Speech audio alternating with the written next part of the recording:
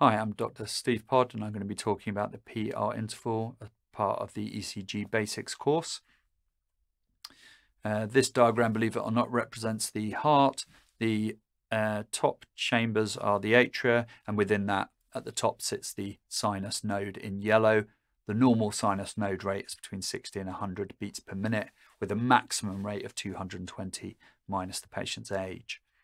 In the center of the heart, we have the AV node, which is in green, and this feeds into the specialist conducting tissue within the ventricles. And here we've got the left bundle and the right bundle shown.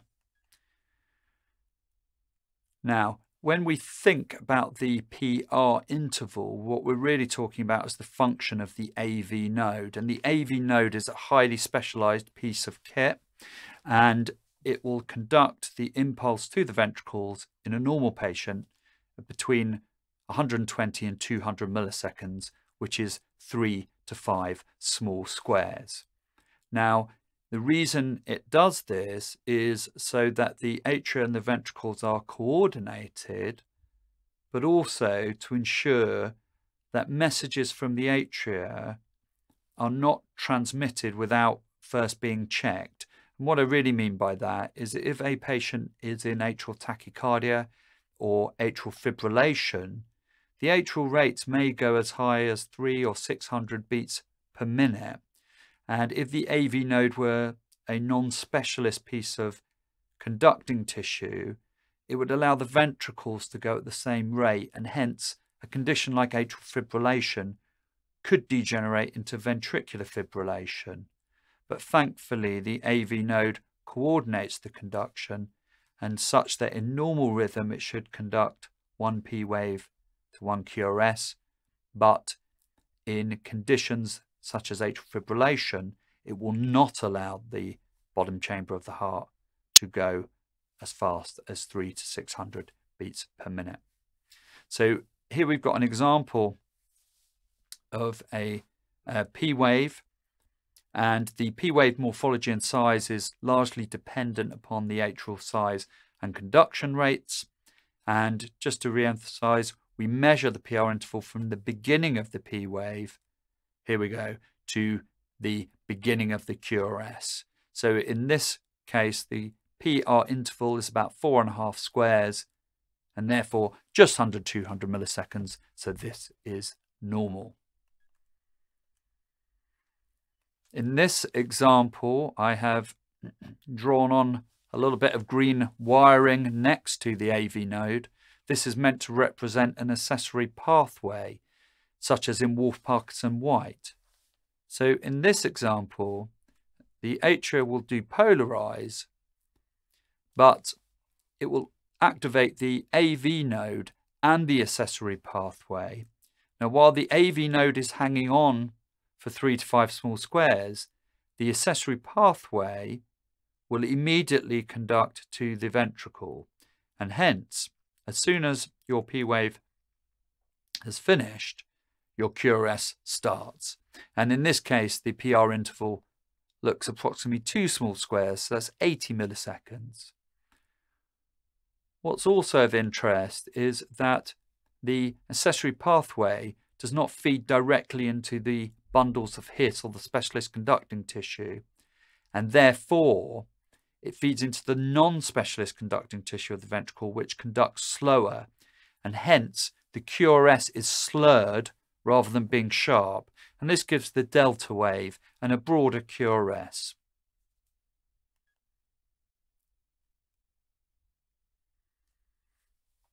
This is a more common finding in patients and that is where the PR interval is prolonged. In this example, the AV node is sluggish, and that can be for a combination of reasons. Ischemia and fibrosis that can come with age. Drug therapy is extremely common within hospitals, such as beta blockers or digoxin. And um, also in younger patients, particularly those that are very active or fit, um, vagal influences can cause the PR interval to prolong. And hence, when the AV node is stimulated by a P wave, it takes longer than five small squares, i.e. longer than 200 milliseconds to activate the ventricle. And in this example, the PR interval is probably eight to nine squares, so over 320 milliseconds. So this is a long PR interval. So just looking at an example of an ECG, I'll just give you a few seconds to look at that. One uh, bit of advice when looking at the PR interval, looking for P waves, is lead the limb lead lead 2 as well as V1 and sometimes V5 can be very good for showing P waves. And that's as a function of the axis of the atria compared to those leads. So that gives you the best chance of identifying the P wave. So if we look at this ECG in a little bit more detail, hopefully you can identify the P wave and you can see that the PR interval is again verging on about 8 squares, so about 320 milliseconds. So this is a uh, long PR interval. Also, you may notice that the QRS is over three small squares, so the QRS is also broad.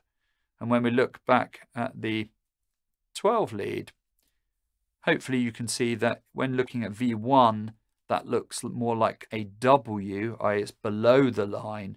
So this is left bundle branch block with first degree heart block. So this shows that this patient not only has a disease or slowing through the AV node, but also has slowing through the bundles of His. So two places that conduction delay is um, uh, easily uh, uh, visible on the ECG.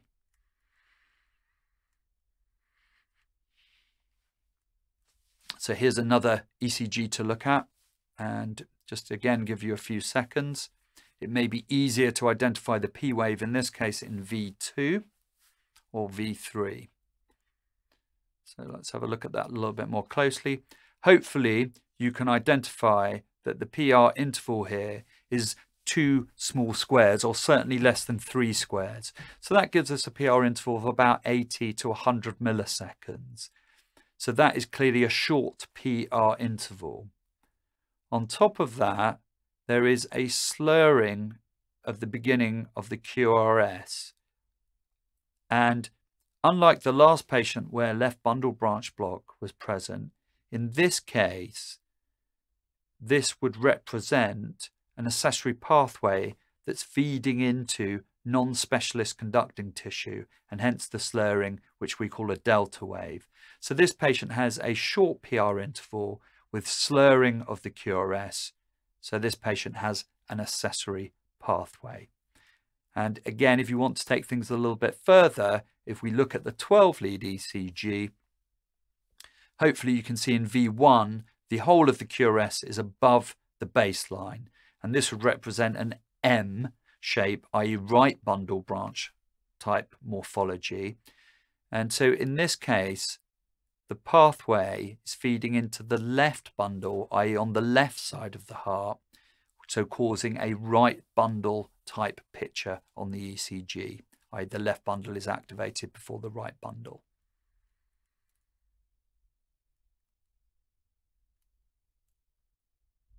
Okay. So I just wanted to put this ECG up last and really to highlight the importance of the AV node and the PR interval. Hopefully you can see on this ECG that the rhythm is irregular and there are no P waves. So an irregular rhythm without P waves is almost certainly going to be atrial fibrillation. Now, what is interesting is that the QRS complexes are of varying morphology and some of them are quite narrow, but some of them are quite slurred or broad. And if I can get my mouse pointer just to look at this QRS here, this one almost looks like a normal QRS conducted through the AV node. Also, it's very important to note that occasionally the RR interval is almost or just above one square, meaning that the rate in atrial fibrillation here is almost going up to 300 beats per minute. This ECG is an example of pre-excited atrial fibrillation. what that means is that the patient has gone into atrial fibrillation but also has an accessory pathway.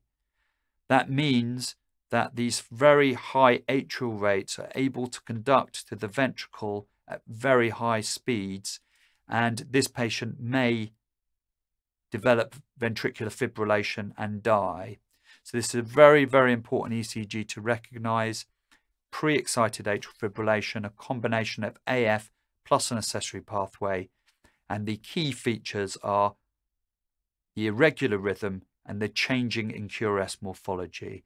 And the reasons that the QRS morphology changes is when the AV node is tired, the atrial fibrillation can conduct to the ventricle through the pathway.